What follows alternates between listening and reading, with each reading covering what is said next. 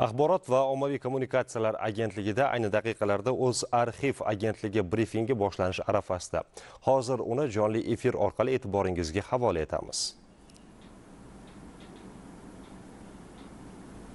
Assalomu alaykum. 2023 yil 1 avgust holatiga ko'ra o'zbekiston davlat arxivlari tomonidan jami 963,8 ming saqlov birligidagi 61,9 million kadr arxiv hujjatlari raqamlashtirildi.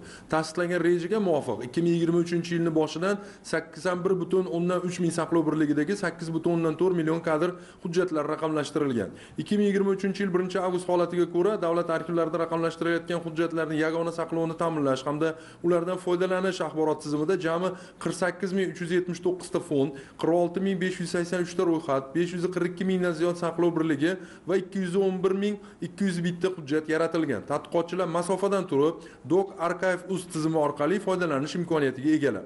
O'zarxiv agentligi tomonidan yana ikkita arxiv xizmati onlayn shaklga o'tkazildi. Birinchisi arxiv hujjatlari kitoblar va qo'lyozmalarni raqamlashtirish ularni elektron nusxasini olib bo'lib olish bo'lib bu qanday ishlaydi? Ariza beruvchi yagona interaktiv davlat xizmatlari portali orqali ro'yxatdan yoki avtorizatsiyadan o'tib so'rov yuboradi shakllangan invoys bo'yicha to'lovni amalga oshiradi vakolatli organ tomonidan qr kodli annotatsiya taqdim etiladi.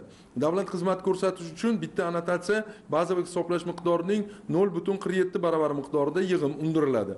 Ijtimoiy himoya yagona reyestri axborot tizimida ro'yxatga olingan shaxslarga shuningdek birinchi va ikkinchi guruh nogironligi bo'lgan shaxslarga ushbu bandning birinchi xat boshida belgilangan yig'imning ellik foizi miqdorida chegirma qo'llaniladi.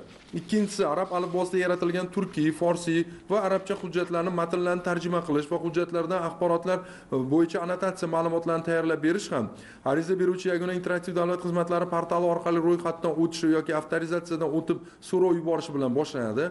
Shakllangan invoys bo'yicha to'lov amalga oshiriladi. Vakolatli organ tomonidan tayyorlangan elektron ma'lumotlar taqdim etiladi.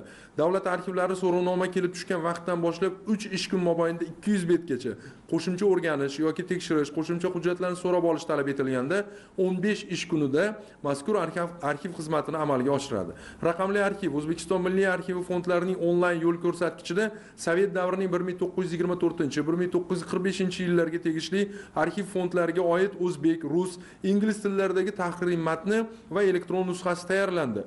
Raqamli arxiv o'zbekiston milliy arxivi fondlarining onlayn yo'l ko'rsatkichi amaliy tadqiqot loyihasi doirasida yaratilgan uh, Quidis Archive uz veb sahifasi orqali tadqiqotchilar undan bemalol foydalanishlari mumkin. Bu tadqiqotchilarga masofadan turib arxiv hujjatlari yuzasidan ma'lumotlar olish imkoniyatini yaratadi. Sizlarga yetkazmoqchi bo'lganlarimiz shulardan iborat edi. E'tiboringiz uchun rahmat salomat bo'ling.